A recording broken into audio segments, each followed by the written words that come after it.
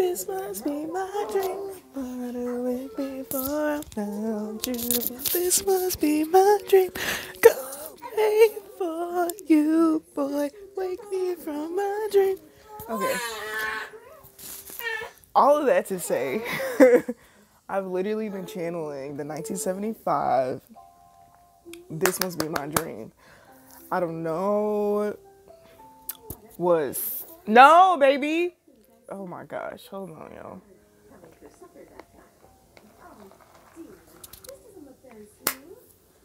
Okay. Anyways, so I'm channeling that song. I've been channeling for multiple multiple days now. Um, it's really giving the end of an era, the end of struggling, the end of hard times, the end of just the end of a dark a dark age era uh, for some of you that are watching this.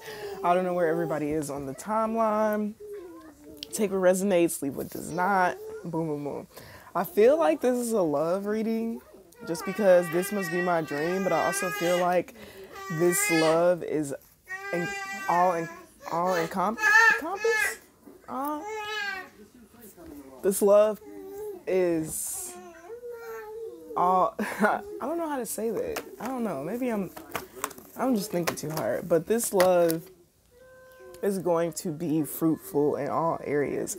So the love of course is going to be successful as the love itself, but it's also going to lead to your success in career, your success in finances, your success in just all around wish fulfillment. Like when we think about the Ten of Pentacles, the Ten of Pentacles is not just wealth, it is the abundance of great health, uh, family, um, wealth, and wealth, health, all that shit. So, yeah, we're gonna just pull some cards. I think I'm gonna start with the. Uh, this deck. I forgot what the fuck this shit is called. The box is all the way up there, but I'm gonna start with this deck.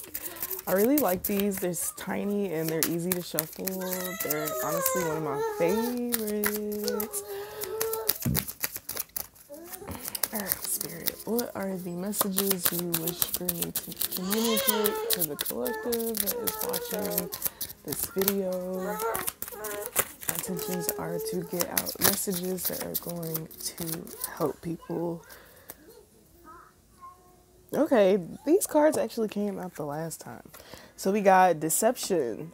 Someone is wearing a false mask in this relationship. Healing family issues. You your love life benefits as you forgive your parents.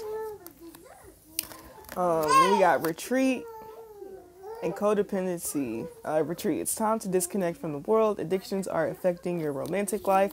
So you could have been in a period of time of being codependent on certain addictions because of family issues that you were experiencing. I mean, this addiction probably helped you cope for a while. It helped you cope with the issues that you were experiencing within your family dynamic, but I feel like ultimately it turned into a codependency to help you through actually healing from these family issues.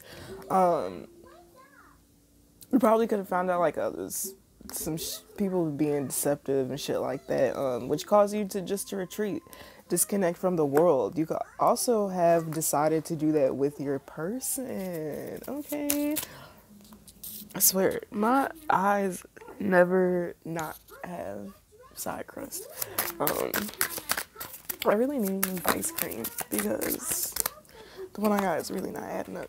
Calling in your soulmate. Your prayers, affirmations, and visualizations help bring you together. That's cute. So I feel like with that card, bitch. So, okay, so you went through all that you actually healed, you moved forward from that um, deceptive area of your life, you actually put in the time and energy to heal from that situation. I feel like this is this puts you on this like removed you from the past so instead of thinking about the past you started thinking more about the future which is you know once you start thinking about the future it's uh, you start visualizing uh, your manifestations and like how these things are to come to fruition for yourself which is a really good thing um, and then we have attraction you attract romantic love by enjoying this moment fully. I can't tell if she wants something or if she's just watching TV and she's excited. Um, sorry about the noise in the background. I have a daughter. Um, yeah, so you attract romantic love by enjoying this moment fully. I feel like by releasing the past and letting go of just the pain from the past, it's allowed you to actually enjoy your present moment. It's allowed you to just be present and actually enthralled in what you're currently experiencing rather than continuing to focus on the past and things that no longer serve you. Um,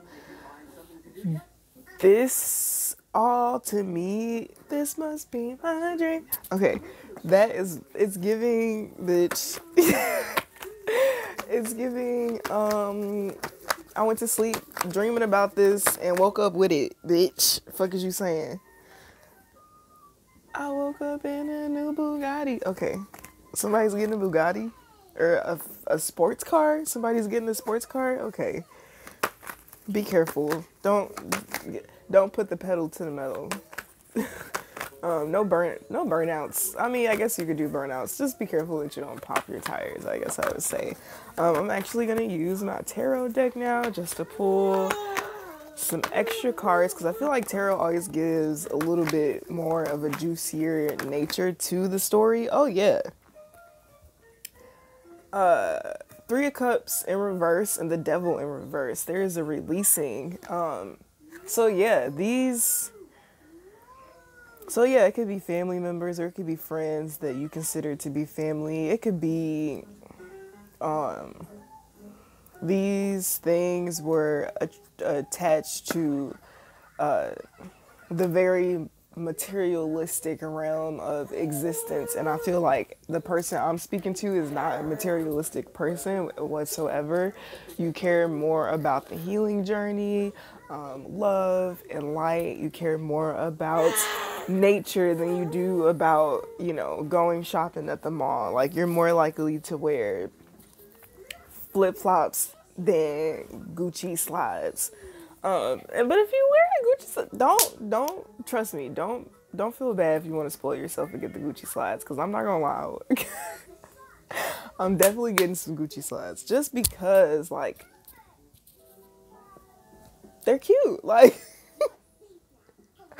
they're cute. Okay. Um. Yeah. Spoil yourself, to say the least. so I started to shuffle, and then the Fool card came out in reverse. So these people could have been plotting on your new beginning. These people could have been plotting on your new journey, or this could have been people that you met along a new journey that you decided to take if you started a new path. Um but just as quick as you took that path, you realized that you weren't condemned to stay attached to th- that reality. Like you realized that you can move forward and progress and actually choose another path that is more of divine nature. So we got the Ace of Pentacles, a gift from the divine herself. Uh, so yeah, I'm hearing new career opportunities um, the Five of Cups came out with it, but I feel like the Five of Cups is a past energy. Even if you pay attention to the skies, like this was how it was before, and this is how it is now. Like it was a little bit darker. You know, the waters were a little bit in. Like mm, I don't know if I should go swimming right now, but as time has went on, you have you have allowed yourself to be renewed, just like the tide has allowed itself to be renewed. Like, you know, the water that hits the shore isn't the same water that's hitting the shore, if you get what I'm putting down. Um, yeah, like just not crying over spilled milk, taking taking the chance to actually take new opportunities and go after what it is that you want. Releasing the attachment to the past allowed your energetic field to be opened up to new opportunities and new blessings. And with you being in a new frame of mind and just being in a different place in your life, I feel like this is what is going to guide you to guide, not even to, but through this new beginning. Um, which is really fucking beautiful. If you ask me, Five of Swords came out. So some of you could be still like unknowingly, you could still be a little bit cold. Er, like you could be a little bit cold to um not cold, but you could still kind of be in the energy of like I need to protect myself kind of shit. Like like, oh, sorry, um, French fry. You kind of be in that energy where, like, new people, you could unknowingly like be very like sketched out by people, and like unknowingly you just kind of are dealing with them in a very sharp manner um, and this could just be because maybe you're still holding on in a way that you're not realizing of expectations of the past. So maybe you think that, you know, the past situation is going to be like the present situation. And I really feel like you should definitely let that the fuck go. I think you're learning how to, and these new opportunities and these new beginnings and these new starts are going to help you see that and then help you release that because you're also attracting people who are going to be patient with you and you know give you time to progress out of you know being a wounded warrior um, which is really good. I feel like it's all a part of your healing journey because you know the healing journey re- really never ends. Death. Okay so we got the death card and the four of swords. So you could have been in the period or could be still in a period of uh, just recalibrating, recouping yourself. Um, and with the death card, I feel like there's an ending coming to that because you can only stay inside for so long. Like, let me speak for myself when I say that. Like, you can only stay inside for so long. Um, and on the bottom of the deck, there is the Seven of Swords and the Nine of Cups.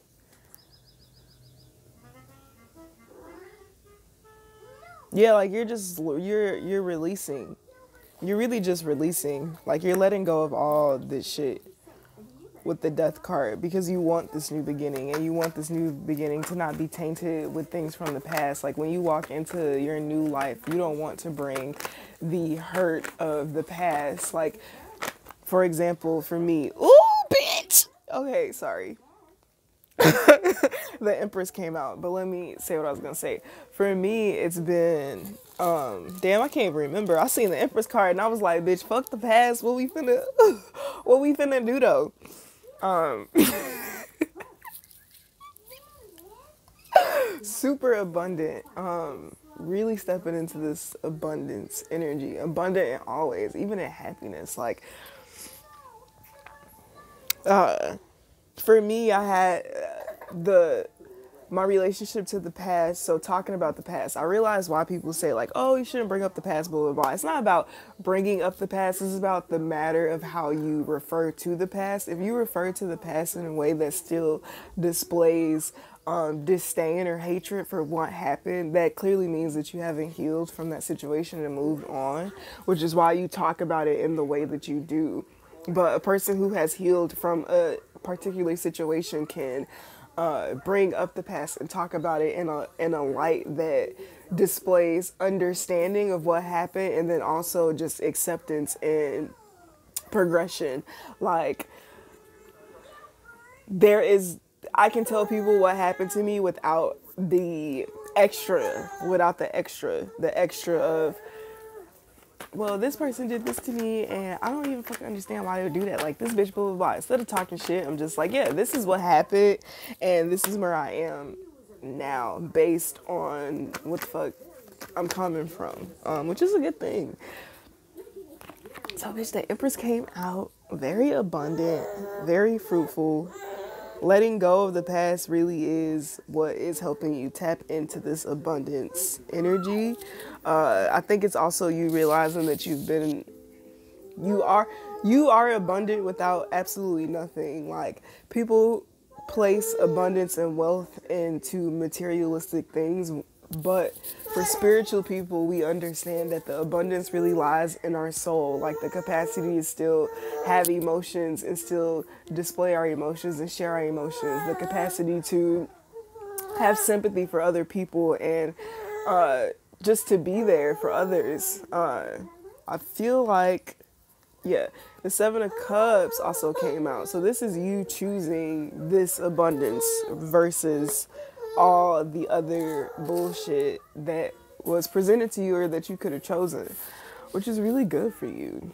Um, this is your dream. Like, this is literally the shit that you've been dreaming about. Like, you're stepping into your new reality. I'm so proud of you. Oh, yeah.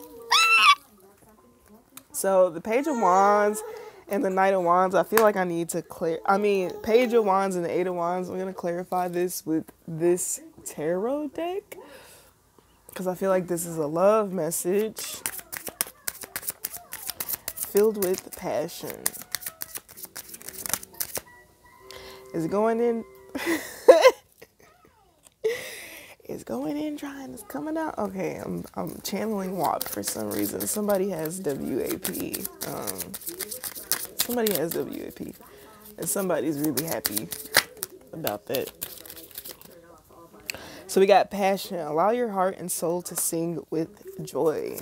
Yeah, it's crazy pulling the passion card with the with you know these being wands, wands being passion, playfulness.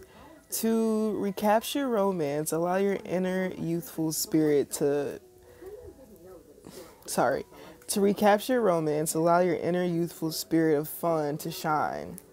Oh. So I'm it's finna get it's finna get real moist around this bitch. um uh, I'm uncomfortable. I, I'm not uncomfortable. I bless you. Um I am I have I'm shy. Like I'm shy. okay. It's very shy. It's giving goosebumps. It's giving my daughter needs a drink of water. Here you go. You want some? There you go. So, passion and playfulness. So yeah, that's pretty much what is coming in with this person. This person is bringing in passion. They're going to bring you back into connection with your inner child. She's like growling at me. Do you want more?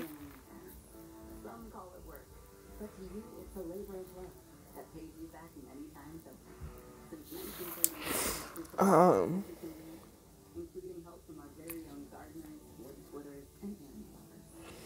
So then I'm also looking at the cards on this deck. So worth waiting for. Divine timing is at work in your love life. Children. Your love life is being affected by children. Wedding. This situation involves a marriage. Give your relationship a chance. Love love yourself first, past life relationship, reconciliation. Oh yeah, baby. The ooh, somebody's coming in. Like I don't know who's coming in. It sounds like either a past life connection, so maybe like a twin flame type of vibe um, definitely, if you're doing the deed, make sure you wrap it up because I'm definitely hearing babies on babies on babies on top of babies. Like if you're not if you're not there yet, definitely um, yeah, protect yourself. But all of that to say, there's a lot of new opportunity coming in for you. There's a lot of things that are going to help you put put yourself at ease. I feel like you're just in a state of being ready for a new beginning, and the universe is about to bless you with that new beginning because of all the hard work you've done to move on and actually grow from the past. Like, not just move on from the past, but to heal yourself and grow. You're manifesting things that are extremely, extremely abundant. Like, like you may have asked for something and you um are probably going to get more of what more more than what you asked for. So definitely be on the lookout for that. Keep your energy cleansed. Keep meditating. Keep doing yoga. Keep whatever spiritual practices it is that you've been taking. Continue to do that. Remain open and positive to all new uh, opportunities that come your way. And yeah, I will see you guys later. Bye.